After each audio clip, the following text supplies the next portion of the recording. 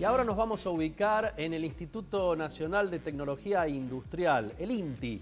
¿Por qué? Y porque al parecer hay cambios en las medidas, tanto aquellas que miden longitud, ancho, como también el peso. Esto es a nivel mundial.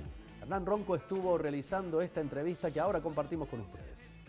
Esta redefinición de las unidades de base del Sistema Internacional de Unidades tiene un impacto importante en la investigación científica y en el desarrollo tecnológico o en la industria de alta tecnología, porque va a permitir realizar mediciones con mayor exactitud a esos niveles. Ahora, en la vida cotidiana, las mediciones que nosotros hacemos, por ejemplo, de masa en la vida cotidiana, cuando vamos al supermercado a comprar este, un producto o a la carnicería a comprar carne o nos pesamos en el médico para ver si engordamos o adelgazamos, no se ven influenciadas por este cambio porque tienen un nivel de exactitud muy inferior a, dónde impacta este cambio. Para, dar una idea, una balanza de supermercado tiene una exactitud del orden del 0,5%. Y este cambio es varios dígitos, o sea, varios órdenes de magnitud más chico que esa exactitud. Entonces una balanza de supermercado no aprecia este cambio.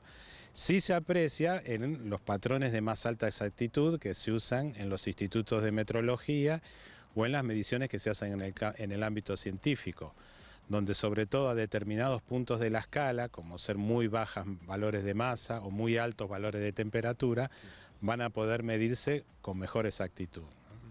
¿Esto puede abrir la puerta a nuevos proyectos de aquí en adelante? Claro, esto eh, lógicamente abre la puerta a nuevos desarrollos eh, tecnológicos que antes se enfrentaban con la barrera que era la propia definición de la unidad de medida. No se podía medir eh, la masa en kilogramos con mayor exactitud que la del propio patrón internacional que estaba guardado en Francia. Ahora esa barrera no existe más, se va a poder medir eh, mejorar la exactitud en forma permanente porque la definición de la unidad no está este, definida por algo que es una barrera al progreso.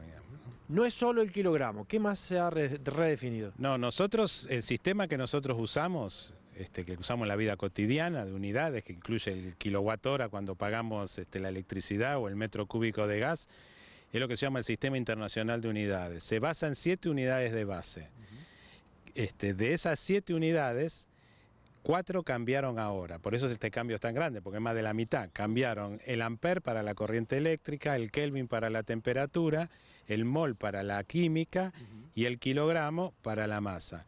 Las otras tres, que son el segundo, el, el metro para la longitud y la candela para la intensidad luminosa, ya habían cambiado hace unos años. Por eso ahora no, ya tenían definiciones modernas, digamos. Las que quedaban con definiciones este, antiguas, digamos, desde el punto de vista científico, eran esas cuatro que cambiaron ahora. Entonces ya todas las unidades de base del sistema de unidades están basadas en constantes de la naturaleza.